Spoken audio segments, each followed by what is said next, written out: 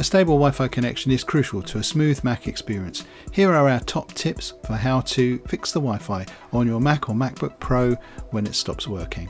Hi, this is Phil from Make Tech Easier and this is how to fix Wi-Fi on Mac and MacBook Pro 2019. Macs, like any computer, are vulnerable to losing their Wi-Fi connections. If you have reset your router, found that another devices are connecting to it and your Mac is still refusing to go online, then it's pretty certain that the issue stems from the Mac itself. This video will cover adjusting packet size, resetting the PRAM and SMC, reconfiguring the DNS, changing location, and deleting and re-adding the Wi-Fi configuration. Wi-Fi switching off after sleep wake.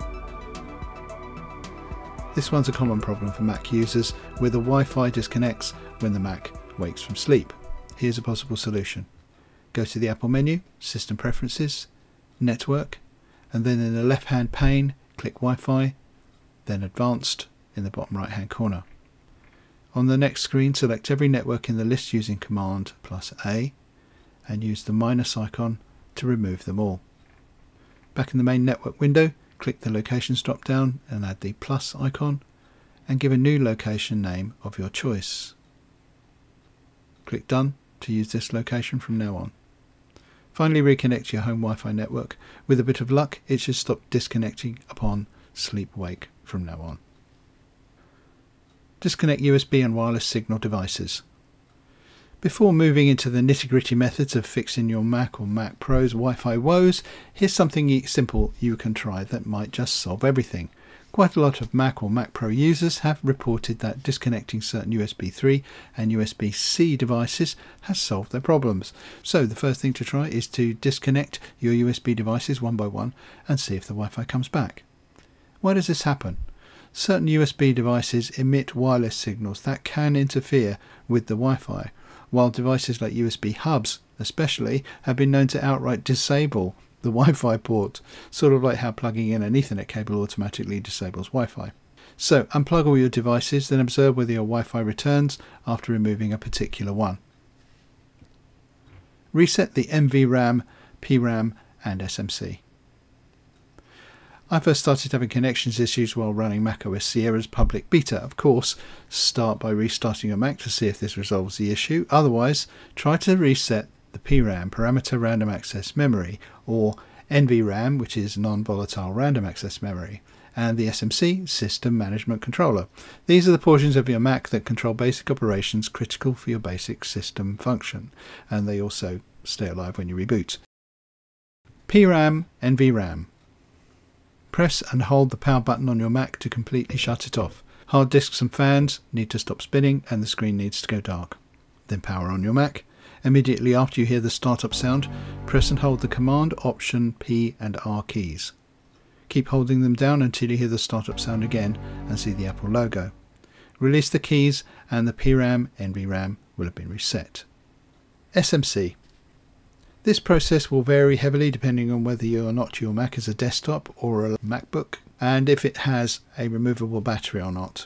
We've got a link in the description to Apple's instructions for the process but also we've got a link to our own video covering resetting the SMC for a variety of different issues and we urge you obviously to go and have a look at that. The following attempts at getting back online will all require you to begin with your Mac's network settings. To get there, Click on System Preferences from the dock or click it with the top left Apple logos drop down menu. Click Network from the newly opened window and there you are. Reconfigure the DNS.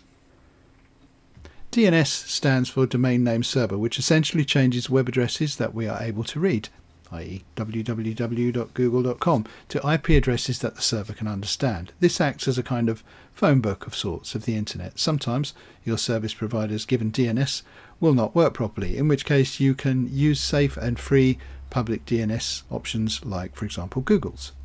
If you want to set this, simply click Advanced, select DNS from the network settings, click the plus icon, type 8.8.8.8 or 8.8.4.4 into the box and press enter.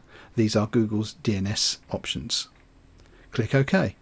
Now try and surf the web. If that works, you're good to go. Adjust the packet size.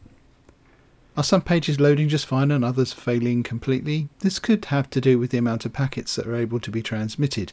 In layman's terms, this is the amount of data able to be transmitted over the network. We can adjust the value so that certain sites are able to load.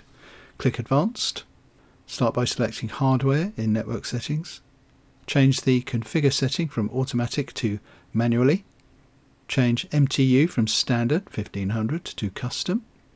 Add the value 1453 into the box and press enter and then click OK. Now try surfing the web again and see if this was able to resolve the issue. Change location and renew DHCP lease.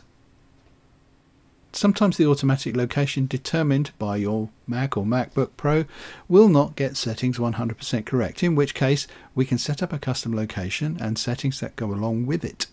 This is where we can also renew a DHCP lease and IP address. DHCP is a protocol for arranging IP addresses and changing that can make sure traffic is being directed accordingly. Now after all that tech jargon, here is how to do it. Again, in Network Settings, click Edit Locations from the drop-down menu where Automatic is currently selected. Click the plus icon and name this new location. You can name it literally anything you would like. The name itself does not affect anything, so, you know, have a bit of fun. Press enter and click done. You will now notice that no IP address appears under Wi-Fi on the left menu bar. Click Advanced, then TCP IP from the menu bar. Click Renew DHCP Lease and a new IP address will be assigned. Click OK and then try and surf the web. Hopefully one of these steps was able to get you online. If not, drop a comment below and let us know and we'll see if we can straighten it out for you. We're not miracle workers, but we'll do our best. Okay, as always, thanks for watching. That's all for now. See you next time.